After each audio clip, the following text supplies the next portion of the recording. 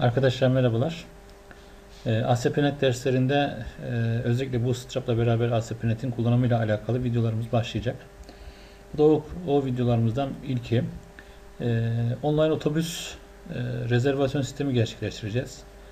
E, Tabi online otobüs rezervasyon sisteminde biletler için, seferler için e, ve müşteriler için ayrı ayrı tabloların oluşturulması gerekiyor. Ben tablolara geçmeden önce e, sayfamızda kullanacağımız e, sitenin şablonunu e, ilk öncelikle tasarlamak istiyorum. Tabi e, bu tarz sitelerde yönetici için ayrı, üyeler için ayrı e, şablon kullanılır. Çünkü yönetim paneli diye bir kavram var ve bu yönetim panelinde yönetici işte sefer eklenmesi gerekiyorsa sefer ekliyor. E, biletlerle alakalı istatistiki bilgilere ulaşmak istiyorsa aynı şekilde e, o sayfadan gerçekleştiriyor veya bilet fiyatlarını güncellemek istediğinde yine bu sayfayı kullanıyor. E, Visual Studio 2012 kullanıyorum ben. 2015'te de bu işlemler gerçekleştirilebiliyor ve 2019'da 17'de aynı şekilde işlemler gerçekleştirilebiliyor. Öncelikle bir website projesi oluşturmamız gerekiyor. File, new, website.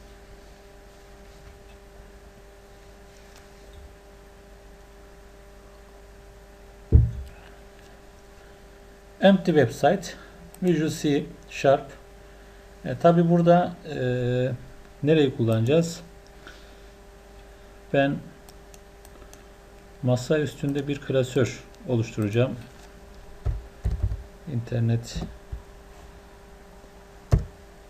2 diye. Bunun içinde iki bir klasörü, website klasörünü kullanayım ben. Open masa üstündeki website klasörünü e, proje klasörü olarak tercih edeceğim. Oluşturuyor şu anda bu klasörümüzle alakalı ayarlamaları yapıyor. E, masa üstüne kayıtla alakalı bazı sıkıntılar ortaya çıkardı. Onu söyledi. Evet şu anda masa üstüne o bahsettiğimiz e, internet 2 işte burada bunun içerisinde website diye bir klasörümüz var.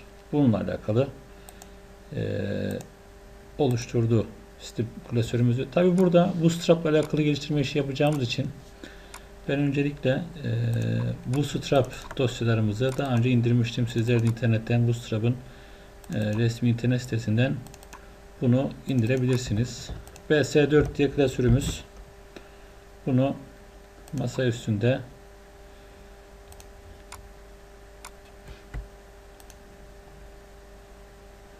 internet2 website buraya yapıştırıyorum. Burada e, tabii 3 tane dosyamız var. Bootstrap min CSS, Bootstrap min JS ve jQuery min JS. Biz şu ikisini kullanacağız öncelikle. E, yenilediğimizde projemizi bakın BS4 klasörü geldi. Şimdi burası sitenin ana klasörü. Biz yönetici ile alakalı işlemleri e, ayrı bir klasörde gerçekleştireceğiz. Yeni bir klasör oluşturuyorum yönet diye bundan sonraki işlemlerimi burada gerçekleştireceğim. Öncelikle öncelikle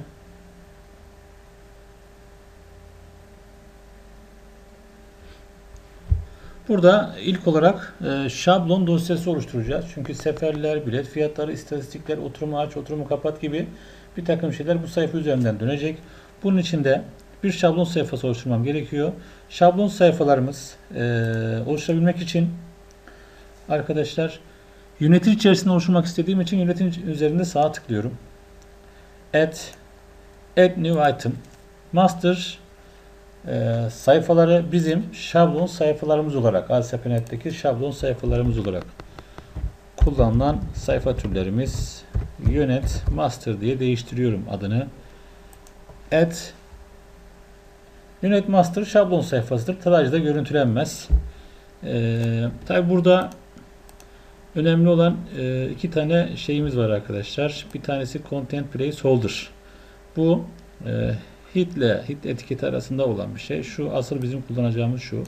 Bu etiketin içerisine ben yazma işlemleri yapabiliyorum. Veya bu etiketin içerisinde düzenleme işlemleri yapabileceğim. Ama şimdilik Bunu buradan kaldırıyorum. Çünkü önce tasarım yapacağım. Content placeholder'ı en son ekleyeceğim. E, title'ın hemen altına e, Bootstrap dosyalarımı taşıyorum. Önce CSS sonra da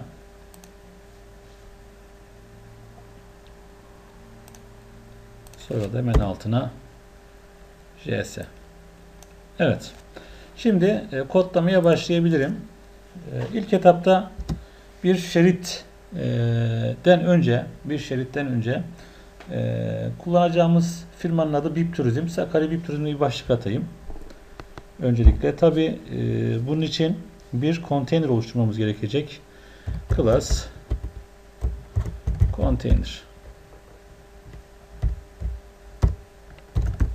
kaydedeyim şöyle. Buradaki div şu şekilde. Hatta şunu da şöyle içeri alabilirim. Şimdi bu divin içerisine gerçekleştireceğim. Konteyner oluşturduktan sonra e, biliyorsunuz e, bloklar e, yatay bloklar konteynerdir. Dikey bloklar kolondur. Ama konteynerin içerisinde ayrı birden fazla bir tane olabileceği gibi birden fazla da satır olabilir. Her satırda da sütunlar vardır. Konteynerden sonra ben hemen satırımı oluşturuyorum. div class eşittir row ee, tabi bu strapta bir boşluk sıkıntısı var biliyorsunuz. Yani konteynerler arasında, satırlar arasında boşluk bırakırken e, bazı sıkıntılar ortaya çıkartıyor. O nedenle bu boşluğu biz kendimiz vermeyi tercih ediyoruz. E, boşlukla alakalı stili şuraya oluşturayım ben. Her defasında bu mutlaka olacak bir şey arkadaşlar. Bir stil tanımlaması yapıyorum ben kendim. Boşluk. Padding. E, tabi padding'i genel olarak verirsek e, sağdan soldan da veriyor. Ben sağdan soldan vermesini istemiyorum. Üstten ve alttan vermesini istiyorum. Öncelikle alttan 10 piksel padding tab üstten de 10 piksellik bir boşluk bırakacağım. Yani içerik 10 piksellik boşluklarla alta ve üste mesafeli duracak. Tabi bu satırda olacağı için boşluğu ben buraya yazacağım arkadaşlar. Evet. Ee, tabi row'un içerisinde bir kolon olacak. Buradaki kolonumuz tek bir tane kolon olacak. Çünkü sadece ortalı bir şekilde Sakarya BIP Turizm yazdıracağım. div class call md. Middle ekranlar için yazdığımızı varsayıyoruz. Ee, diğer ekranlar için de yazmamız gerekiyorsa bunu buraya eklememiz gerekiyor tabii ki. Biz karmaşadan uzaklaşmak adına sadece middle ekranda bu işlemi gerçekleştireceğiz. Ee, bir header 4 oluşturayım. Ee, header 4'ün tabii oluşturduktan sonra kapatıyorum. Şey bu. Mantık bu. Class eşittir e, text danger olsun. Sakarya BIP Turizm Tabi bu e, burada bir H5 ekleyeyim. Class bu da e, üstteki kırmızı yazıydı. Bu da mavi. Info olsun. Yönetim paneli diye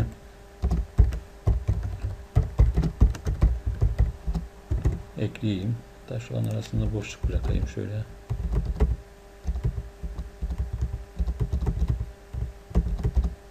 Evet şöyle. Şimdi üst konteynerimi oluşturdum. Yapı bu. Üst konteynerim tek bir satırdan oluşuyor ve tek bir sütun var. Şunları ortalayayım. Sütunda text center. Evet. Şimdi e, bir sonraki konteynerim şu. Gördüğünüz gibi seçtiğimizde bunu konteyner seçili oluyor. Konteynerden sonra ikinci bir konteyner olsun. Tabi bunda renkli bir şerit e, yapmak istiyorum ben. E, mavi arka plana sahip. Dolayısıyla e, bir monitörün bir tarafından bir tarafına sağından soluna doğru bir şerit yapacağım. Dolayısıyla da burada e, bir container fly'da ihtiyacım var. Tabi burada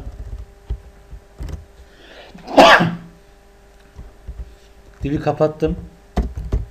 Class e, container flight o şeridi çekebilmem için bu gerekiyor. Bunun içerisinde tabii ki e, yazdıklarım container flight'ta olduğu gibi container flight e, hem sağ hem de sol ekranın hem sağına hem de soluna e, yazmış olduklarımı yaslıyor. Ben onu istemiyorum. Biraz içeriden konteyner boşluğu vermek istiyorum.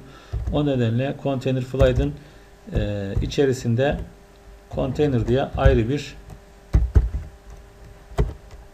div daha oluşturuyorum. Ee, daha sonra tabi bundan sonra yine satırlarımız devam ediyor. Row satırla birlikte boşluğumuzu da bırakalım. Tırnağın içinde olacaktı. Evet. Daha sonra e, burada e, iki sütun yapalım. Bir tarafta farklı linkler, bir tarafta yöneticiyi ilgilendiren linkler olsun. O nedenle div class eşittir call md 6 aynı şekilde şunu da kopyalayayım. İkinci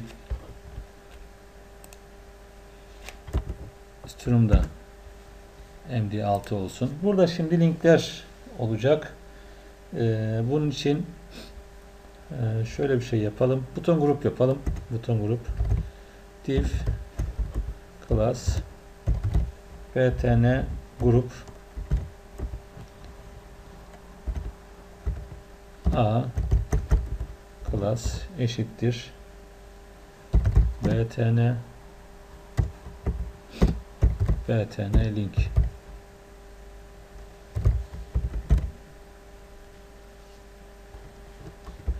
e, ref eşittir boş link olsun bunlar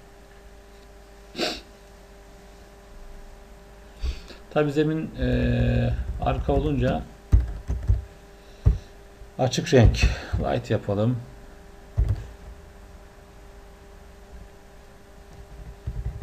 Bu şeyin e, rengini bu ana sayfa olsun. Bunu ben şimdi kopyalayayım. Bu da iletişim olsun.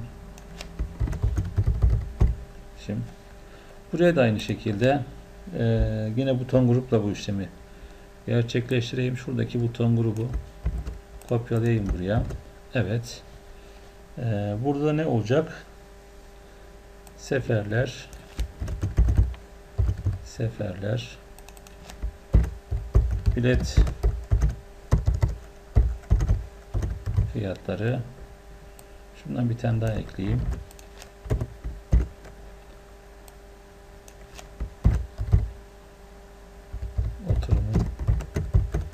kapatayım. Evet.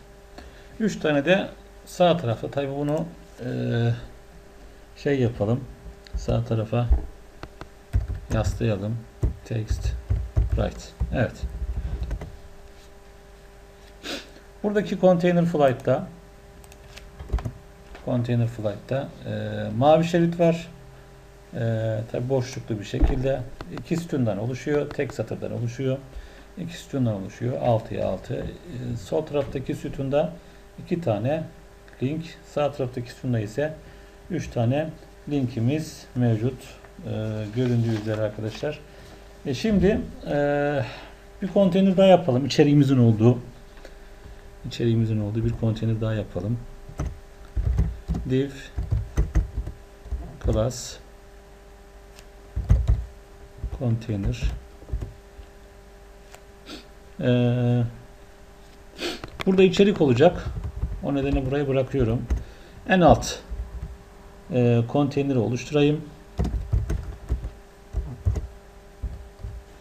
Hatta bunu yine e, siyah bir renk oluşturayım. Şurada e, BG secondary diye div class row boşluk div class core md 12 ve yazıyı ortalayayım. Text center evet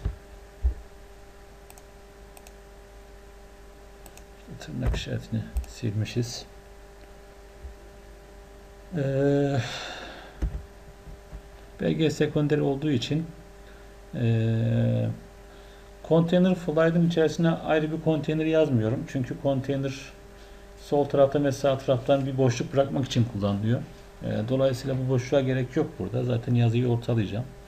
O nedenle de konteyner olmak zorunda. Konteyner veya container flight row ve boş kolon olmak zorunda. E, şimdi bir H6 ile e, rengini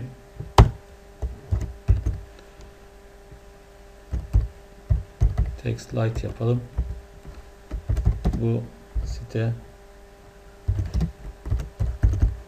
internet programcılığı 2 dersinde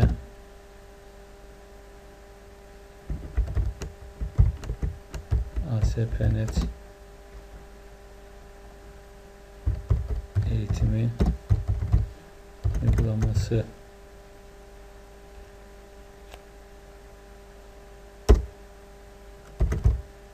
maksadıyla gerçekleştirilmiştir. Evet. Bu şekilde bir e, yazıyla da olayı sonlandıralım. Tabi burada konteyner bıraktım.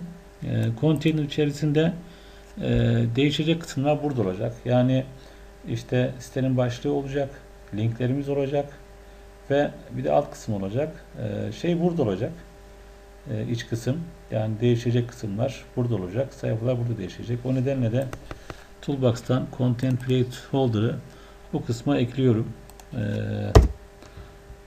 bundan sonraki e, kodlamalar buradan devam edecek. Tabi dizayna geçerek e, yapmış olduğumuz tasarıma şöyle bir bakalım. E, tabi bu strap olduğu için e, burada text info ve text info ile alakalı renklendirmelerde sıkıntı olmuş gibi görünüyor ama e, flight flight flight. Evet. Burada e, bg info şeyi e, yazım yapmamız gerekiyordu. Onu unutmuşuz. O nedenle de burada info yaparak şöyle evet şimdi oldu. Evet şu şekilde gördüğünüz gibi e, tabii ki sütun olduğu için sanki farklı satırlarmış gibi göstermiş burada ama normalde bu tek satır ve iki sütun mevcut arkadaşlar. E, tabii bunu daha net görmek adına e, yönetim içerisinde bir e, dosya oluşturarak anlayabiliriz. Bir ASP.NET dosyası oluşturuyorum örnek olması açısından. Add, add new item, e, web form, ASP.NET dosyalarımız default. Tabi burada e, direkt default demeyelim de yönet default diyelim. Tabi e, bu yönet default sayfası şuradaki master page'i kapsayacak. Yani buradaki şablon esas alarak geliştirilecek. O nedenle bu master page'i arka şablon olarak burada seçiyorum. Add diyorum. Şablonumuzu seçmemiz gerekiyor. Yönetim içerisinde yönet master. OK. Evet yönet default gerçekleşti. Gördüğünüz gibi. E, şimdi bunu bir tarayıcıda görüntüleyelim. Çünkü master görüntüleyemiyoruz. Görüntülemek için e, şu kısmı kullanmıyoruz arkadaşlar. Burada da var aslında ama bu kısmı kullanmıyoruz. Bu aynı zamanda derleme işi yapıyor. Çok daha yavaş çalıştırıyor. Ve e, kapatmamız gerekiyor tekrar burada işlem yapmak için. O nedenle aklınızda olsun. Burayı kullanmayacağız. E, görüntülemek istediğimiz sayfa üzerine sağa tıklıyoruz ve View in Browser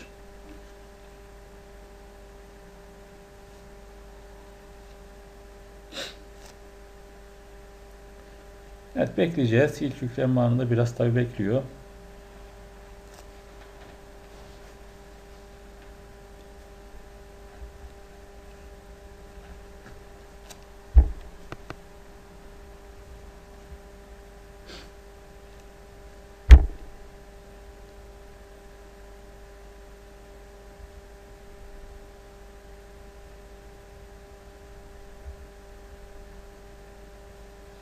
Evet, sayfamız bu. Tabi şurada herhangi bir şey olmadığı için arkadaşlar e, gördüğünüz gibi sayfamızla alakalı değişiklikleri burada yapacağız. Şu ara kısımda yapılacak. E, dersimizi burada bitiriyoruz. Bir sonraki derste görüşmek üzere. Hoşçakalın.